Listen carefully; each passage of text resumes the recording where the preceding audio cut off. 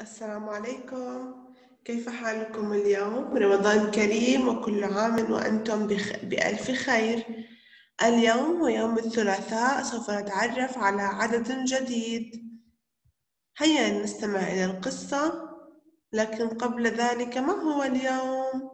ما هو اليوم يا أبطال؟ أحسنت الثلاثاء اليوم هو يوم الثلاثاء هيا نراجع مع الأعداد التي أخذناها في السابق. واحد اثنان ثلاثة أربعة خمسة ستة سبعة ثمانية. واليوم عندنا كمان آه، عدد جديد رح نتعرف عليه من خلال بعد ما نستمع للقصة قصة العدد. أشرقت الشمس في مزرعة الأخوين سمير وسعيد. استيقظ سعيد نشيطا وذهب ليعمل في المزرعة. وعند الظهر استيقظ سمير. آه. ذهب ليجمع البيض. لم يجد ولا بيضة. كم بيضة جمع سمير؟ أحسنت صفر ولا بيضة جمع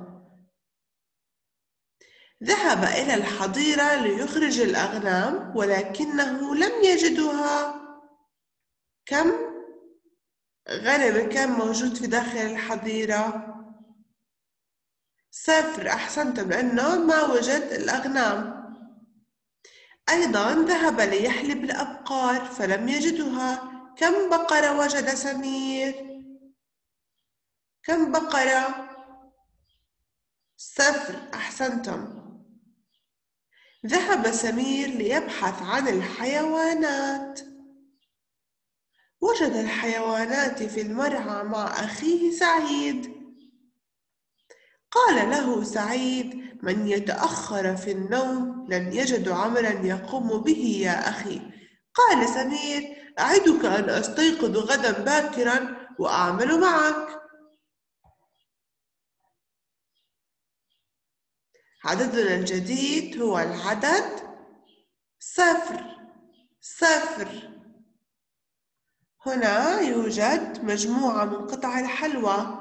كم قطعة حلوى يوجد؟ أربع قطع حلوى. إذا وزعنا هاي القطع الحلوى على الأبطال سامي وديالا ودانا وحنان. كم بقي؟ صفر. أحسنت صفر صفر. يمي. إذا أنا كان معي قطع الآيس كريم حبات الآيس كريم وحابة أوزعها على طلاب صف البستان. وأعطيت وحدة لآدم وحدة لعبد المجيد وحدة لجود وحدة لريما ووحدة لتاج. كم بقي معي؟